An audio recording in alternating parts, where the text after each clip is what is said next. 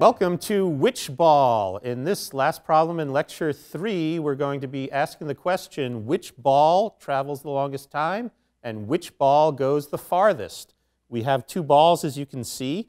As stated in the problem, the height of the ball on the table is exactly one meter, which goes to the center of the ball resting on this mount.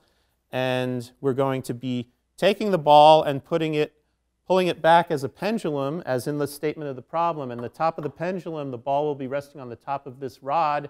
And you can see that's slightly more than a meter. So you might think I'm cheating, but no, I'm not. You see this stand is a few centimeters above the top of the table. And so that compensates for the distance between here. That ball will be launched from one meter high. And I'm going to let my colleague Chris tell you the rest of the demonstration. All right, great. I'm going to remember my safety goggles first. Professor Freericks has explained it pretty well. The only other thing I'll add is you'll notice from the drawing that you're looking at compared to the actual video here, there's this two strings that make up the pendulum here, and that's just so to ensure that the ball is going to fall in a two-dimensional plane when I let go. And I'll do that in three, two, one.